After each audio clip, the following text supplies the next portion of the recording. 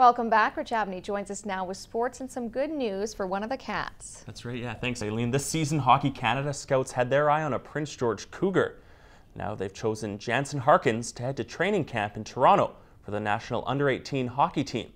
The forward hails from North Vancouver and had 10 goals and 34 points in just 67 games this season for the Prince George Cougars.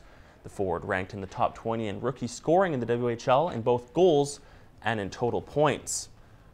Harkins is one of only two British Columbians heading to training camp. The IIHF, excuse me, under 18 championship start on April 17th in Finland.